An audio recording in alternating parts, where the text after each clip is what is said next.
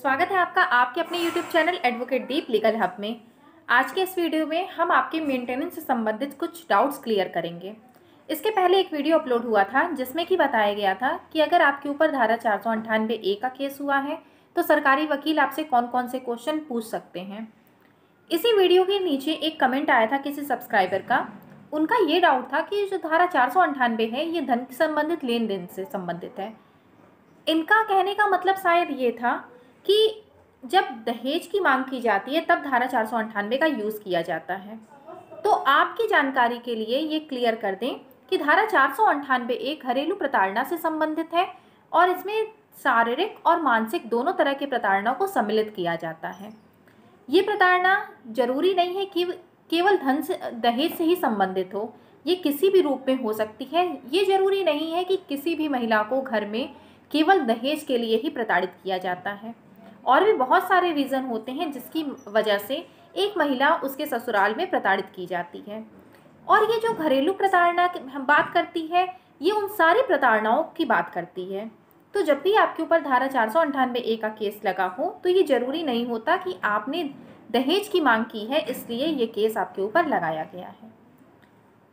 तो ये आपका जो डाउट था, ये क्लियर करना ज़रूरी था। और इसी में साथ में आपने ये भी पूछा था कि मेंटेनेंस का केस अगर शारीरिक प्रताड़ना का आरोप लगाया गया है और ये आरोप सिद्ध होने के पहले ही कैसे भरण पोषण का आदेश दिया जा सकता है?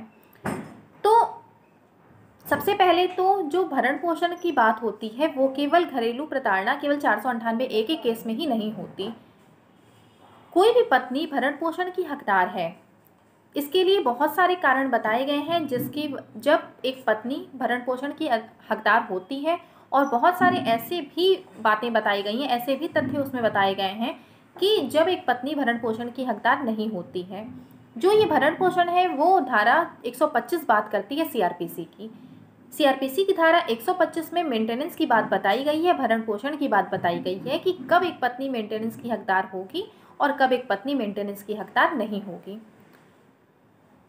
मेंटेनेंस देना ये मेंटेनेंस की जो धारा थी, ये हमारे लॉ में इसलिए लाई गई क्योंकि ये महसूस किया जाने लगा कि बहुत सारी ऐसी महिलाएँ हैं जिनके साथ बहुत गलत होता है और वो इस लायक भी नहीं होती कि वो अपनी ज़रूरत की आवश्यकताओं को पूरा कर सकें खुद से। और जब भी किसी भी महिला की शादी होती है तो उसके पति का ये दायित्व होता है कि वो अपनी पत्नी का भरण पोषण करें। ऐसे में अगर पति पत्नी के बीच में किसी भी तरह का कोई केस चल रहा है, और ये ज़रूरी नहीं है कि सारे केस झूठे ही हों, बहुत सारे ऐसे केस होते हैं जो कि सही भी होते हैं। आज के टाइम में हमारे यहाँ मिसयूज़ होने लगा है कुछ धाराओं का, जबकि ऐसा पहले नहीं था। इन धाराओं को बनाने का मकसद केवल ये था कि जिनके साथ अन्याय हो रहा है, उन्हें न्याय दिलाया जा सके। अब न्याय की अगर हम बात करें तो हम देखते हैं कि जो महिलाएँ खुद से उनकी कोई आय नहीं है। उनके पास कोई भी ऐसा साधन नहीं है जिससे कि वो अपना भरण पोषण खुद कर सकें। तो ऐसे में अगर उसके पति के द्वारा उसे छोड़ दिया जाए और उसे भरण पोषण भी न दिया जाए तो वो महिला कहाँ जाएगी? वो अपनी ज़रूरत की आवश्यकताओं को कैसे पूरा करेगी? तो इन सब बातों को देखते हुए हमारे यहाँ धारा 125 का यूज़ किया जाने लगा और 125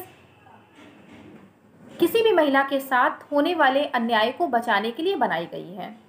जिससे कि वो महिला अपना भरण पोषण कर सके। कोई केस चल रहा है पति पत्नी के बीच में? वो केस सही है या गलत है? इसका फैसला तो बाद में होगा। लेकिन क्या तब तक कोई भी महिला बिना भरण पोषण के रह सकती है?